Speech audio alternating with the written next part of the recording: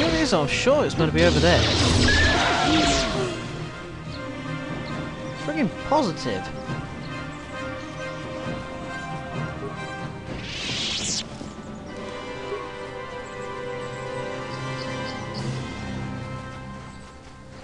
If I don't find it very soon, I'm just going to leave it and get on with the main quest.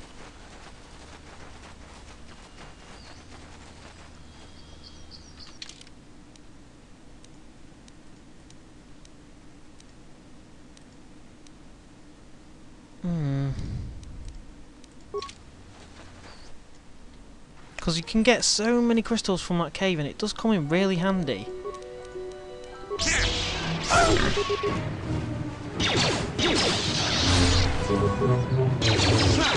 If I can.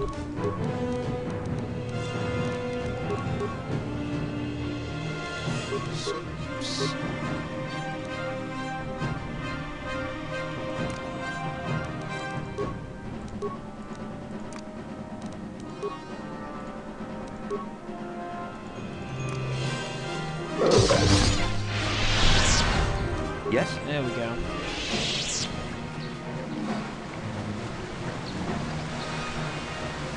That's a feature that was only very briefly touched upon in this game, but they expanded it a little bit more into the game during the uh, la yeah during the next game. The tactics system comes in very handy. I never realised how it actually worked until a little re well recently after replaying this game again. It does come in very handy, believe it or not. I'm not interested in the droid. But I am going to have to leave, like, just get on with it very soon because I'm going to get very annoyed. And I'm going to end up throwing the controller at something. Not the controller, probably my mouse.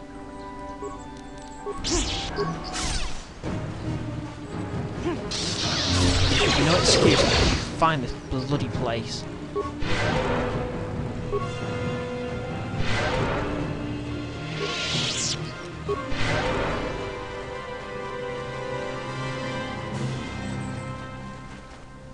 I ain't fighting the flaming Mandalorians.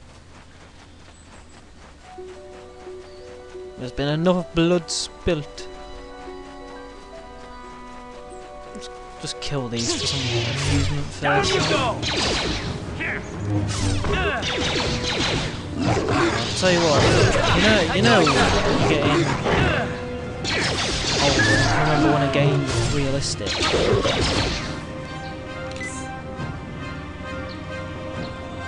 Because I can remember when this... There's the Blue Cave. I will kill this game because it's relocated itself magically. Uh, Bastila. What can I do? Disengage that for a start. And run!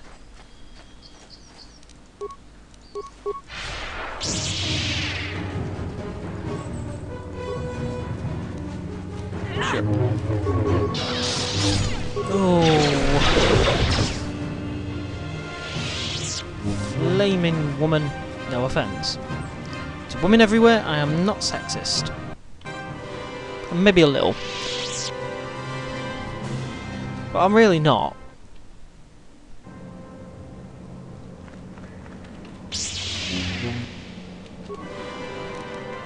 Kinrath. Now, very. This is going to be very, very easy.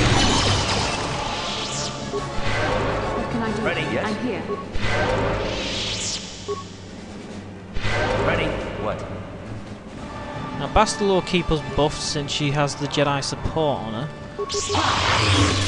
Now, this cave actually expands itself in the second one, the Sith Lord. It becomes a much bigger place. This, in this one, it's more just very small, but full of enemies that, that can very easily overwhelm you.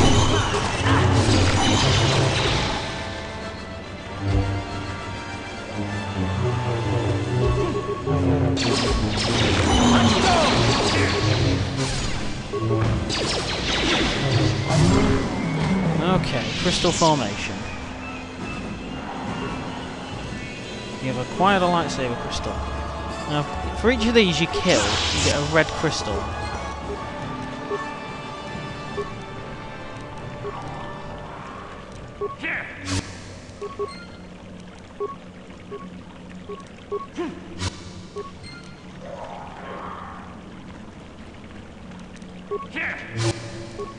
Which evidently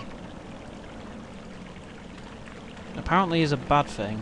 Remains of Jura still bonding alloy response package. No one cares, funnily enough.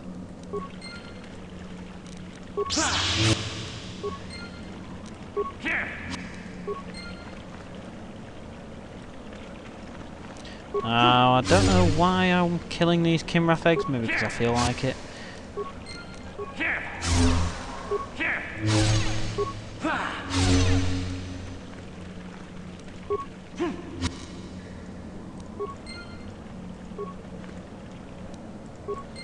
You have acquired a lightsaber crystal. Now, I could, I could be wrong. Like, not all these will be red, like red crystals. Most of them probably will be.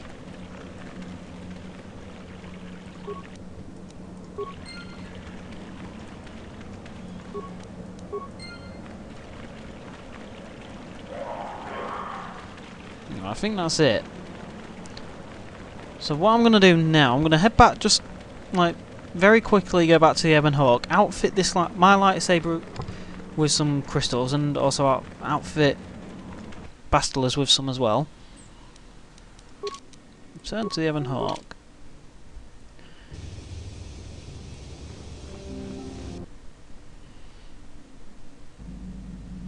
One, this is one gripe that I do have over this game.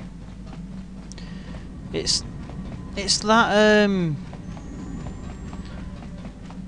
the the Jedi robes don't look right.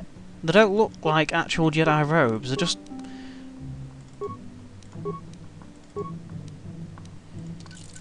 I don't know. They just don't look right to me.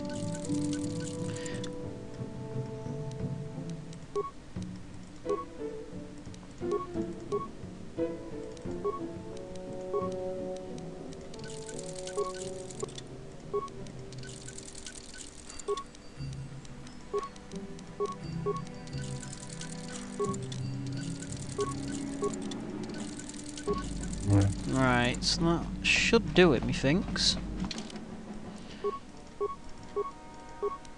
Now I'm going to be heading to those ruins. After I've done that, I will be ending this part of the Let's Play. Because, well, we'll be pretty much done. Once we get the option to leave Dantooine, that's when I'll be cutting it off. Then after that, I'll be doing each of the planets in my order, which will be, if I remember correctly, it's going to be Tatooine, uh, what's the other ones? Kashyyyk, Manaan, and then Korriban.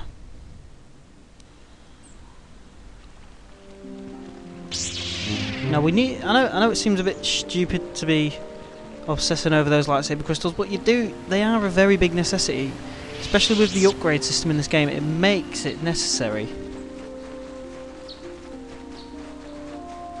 That's the that's the only way that I can put it. it these Cathans seem to be respawning, by the way? I'm determined to think they are. Now, once we get master speed, we'll get another round. We'll get an extra, one more extra round for an attack. So we'll be doing, well, we'll be doing a lot of damage by the end game anyway. But basically, it'll make make the end the ending of the game so much easier. Well, the final boss so much easier. Anyway, let's go into the ruins. Oh, one second.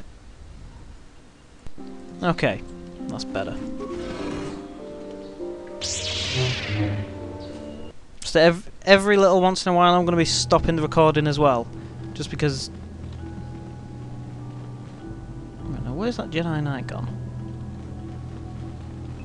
Nemo, I think he was called. Is speaking a language you do not recognise. What language is that? What are you trying to say? Anyway, do you have any idea what the droid is saying? I think the droid is trying to communicate with us by cycling through a variety of languages. Each time it spoke, it was using a very different alien dialect. The droid can probably understand us. The only problem is it may not have been programmed with the phonemes of a language we can understand. I can reproduce any of the languages spoken by the slaves of the builders. I recognise this language. I recognize this language as well. It's an archaic variant of the Selkath dialect spoken on Manaan. Why would a droid on Dantooine be programmed to speak ancient Selkath? Okay. But you are not of the slave species, neither are you of the builders. You are like the one who came before.